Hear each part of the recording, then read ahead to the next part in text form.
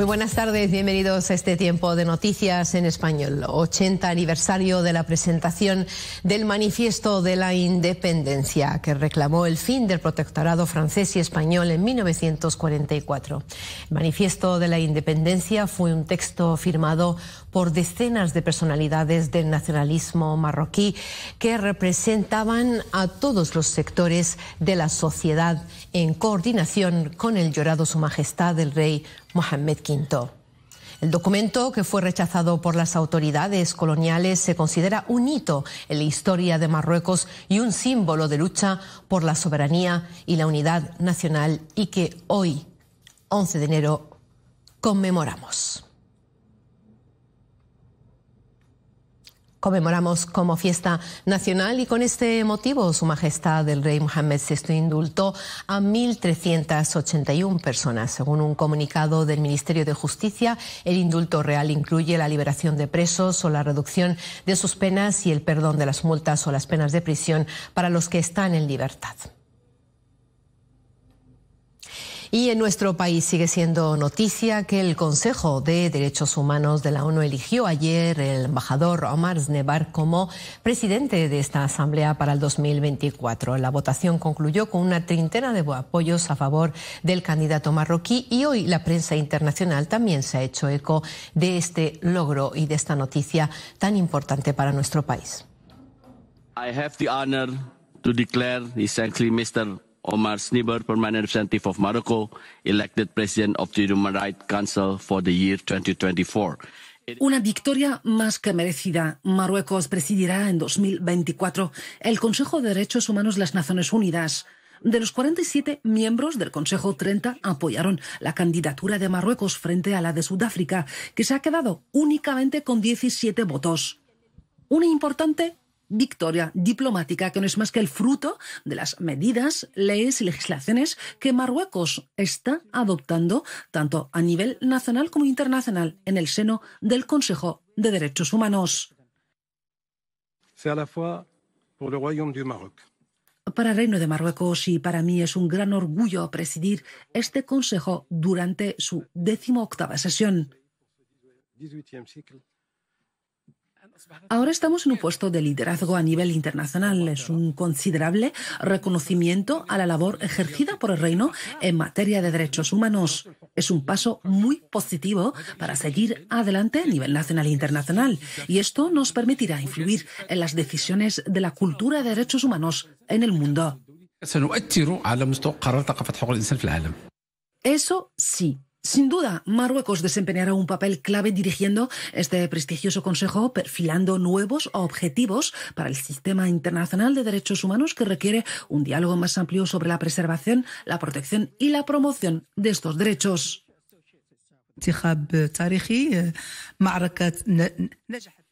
Marruecos ha ganado estas históricas elecciones gracias a la confianza de que goza Marruecos a nivel internacional. Esta victoria es el resultado de más de 20 años de trabajo y de esfuerzos en materia de derechos humanos a nivel nacional e internacional.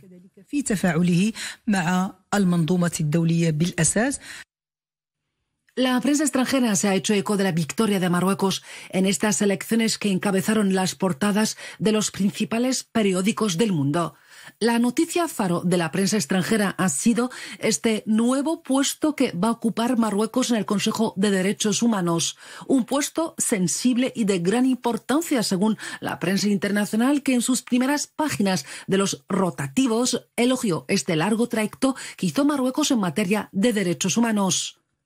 La elección de Marruecos a la presidencia de este Consejo es todo un logro que confirma una vez más que Marruecos va por el buen camino y de que todas sus estrategias para la promoción y la defensa de derechos humanos llevaron al reino a buen puerto. El presidente español eh, Pedro Sánchez ha enamorado, enumerado las líneas estratégicas de la acción exterior de España este año en la apertura de la octava conferencia ah, de embajadores que durante estos días se reúne en Madrid a los jefes de las delegaciones diplomáticas en todo el mundo. Y esto es lo que dijo de Marruecos. Con Marruecos hemos abierto, creo que, un nuevo capítulo en la relación bilateral. a escala mundial La, la, reunión de alto nivel celebrada el año pasado en, en Rabat contó con la participación ministerial más amplia y produjo el mayor número de acuerdos de nuestra historia, de la relación bilateral entre ambos países. Una España que apuesta clara y. Y creo que hemos alcanzado un enorme grado de solidez y de confianza que debemos seguir consolidando.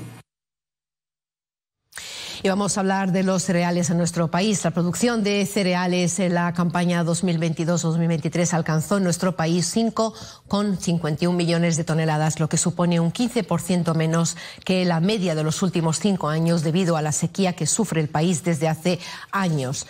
El organismo estadístico, eh, la Alta Comisión de Planificación, destacó en su informe económico para el 2024 que esta campaña agrícola se desarrolló en condiciones eh, climáticas desfavorables caracterizada por eh, un déficit de precipitaciones y choques térmicos. Marruecos atraviesa una prolongada sequía y un grave déficit de recursos hídricos con una caída del 67% de las lluvias, lo que llevó al gobierno a anunciar varias medidas restrictivas para afrontar la escasez del agua. En este contexto, la cosecha de cereales fue de 55 millones de quintales, unos 5 millones y medio de toneladas, lo que supuso un aumento, como les veníamos diciendo, del 62% respecto a la campaña anterior, pero un descenso del 15% respecto a la media de los últimos cinco años. El resto de los cultivos registraron una evolución moderada. Y hablando de sequía, Marruecos atraviesa evidentemente con una prolongada sequía y un grave déficit de recursos hídricos con una caída del 67% de las lluvias. Esto se ha notado muchísimo en las regiones más áridas de Marruecos. Vean. Sin agua, la vida es un verdadero infierno. Estamos en la comuna rural Aituahdi, ubicada en la provincia de Asilal. La zona se está quedando sin aguas subterráneas. Los habitantes tienen que recorrer varios kilómetros para traer agua de pozo. La sequía se hace cada vez más intensa en esta zona.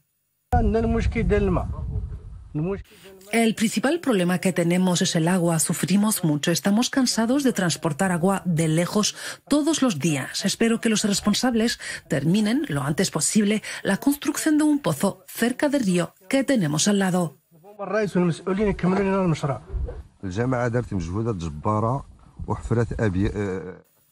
La comuna ha realizado varios esfuerzos para hacer llegar el agua a varias aldeas. Actualmente hemos logrado construir rehabilitar tres pozos y estamos trabajando duro para construir más pozos aprovechando la cercanía del río a varias aldeas con una importante población.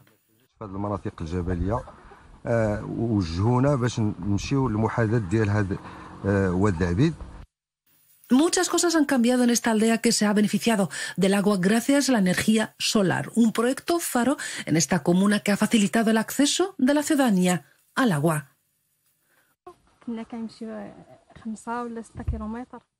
Todos los días recorrían unos 6 kilómetros para traer agua de uno de los pozos que se ubicaba lejos de nuestra aldea. Ahora tenemos uno muy cerca.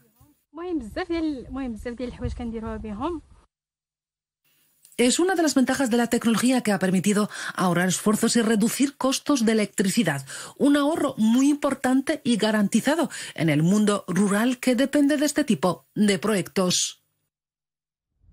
Un déficit que se ha notado muchísimo en los embalses. También en el norte, un déficit de 309 millones de metros cúbicos en las presas de Tánger, Tetuán, Al Husseima. Hay que destacar que en los últimos meses la capacidad de estos embalses de 667 millones de metros cúbicos, o sea, un 38% ante los 57% del año pasado. Por lo tanto, un déficit bastante importante y eso que en el norte llueve más que en otras regiones de Marruecos. Y vamos con la actualidad deportiva. Hoy juega el Barcelona. El entrenador del Fútbol Club Barcelona, Xavi Hernández, aseguró que firma ganar por la mínima hoy a los Asuna en las semifinales de la Supercopa de España y ganar por la mínima la final y levantar el trofeo. Este, esto es lo que dijo, pese a que el equipo ha sido incapaz de vencer por más de un gol en los últimos 20 partidos que ha disputado. Escuchen lo que ha dicho.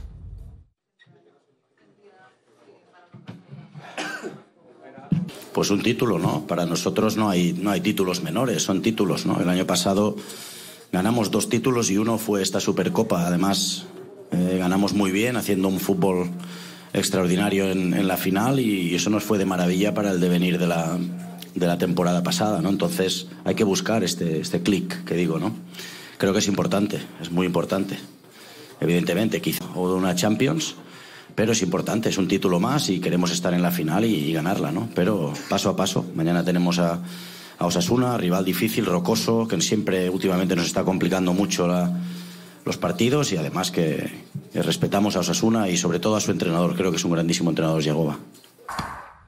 A ver lo que pasa hoy con el Barcelona. Lo que hemos ya visto es lo de ayer el Madrid con el Atlético de Madrid. El entrenador del Atlético de Madrid, Diego Simeone, admitió que el Real Madrid fue el justo ganador de la semifinal de la Supercopa de España. A Ancelotti no le ha importado contradecirse y dar prioridad al rendimiento. Escuchemos.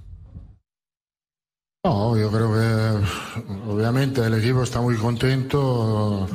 Eh, yo creo que tenemos que tener calma porque ha sido mm, un partido con muchas emociones, que da mucha emoción, eh, pero falta, faltan 90 minutos para ganar el título, esto es lo objetivo. El partido, creo que en los 90 minutos hicimos un, partido muy bueno, importante, con, con situaciones muy puntuales a mejorar, eh, pero con con la sensación de, siempre estar presentes, siempre estar parados, siempre estar fuertes para todo lo que fue pasando en el partido, ¿no? Del 1 a 0 en 1 a 1, de perder 2 a 1, 2 a 2, a 3 a 2. Y bueno, desgraciadamente ahí en el final, en el 85, 86, lograron el empate merecidamente, linda jugada, insistencia de parte de ellos. Y bueno, llegamos a la largue eh, y ya nos costó un poco más, no pudimos mantener el, juego. Y el primer partido se jugará mañana entre el Bayern y el Offenheim en la Allianz Arena de Múnich, un estadio cuya construcción impulsó Beckenbauer como presidente del club bávaro y que eh, anteayer hemos despedido. El techo del estadio, como ven, tiene en estos días una iluminación muy especial con un letrero que dice Danke, Franz, gracias, Franz una forma de homenajear al crack del fútbol.